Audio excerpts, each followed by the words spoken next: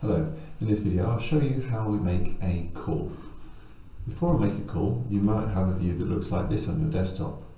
If you want to see the contacts, simply select the contacts from the bottom of your screen and you can see all your contacts.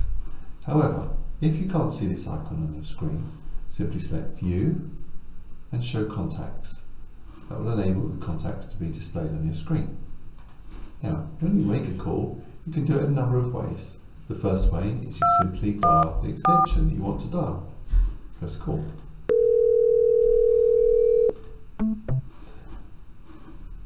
The second way that we can make a call is we can type the name of the person we're interested in talking to.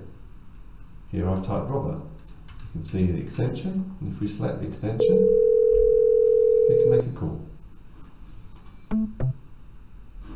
So as you can see, there are two ways of making calls, either by dialing the number or by typing the name of the recipient that you're trying to reach and selecting their name. That concludes two ways of making a call from the Bria Desktop app. Thank you.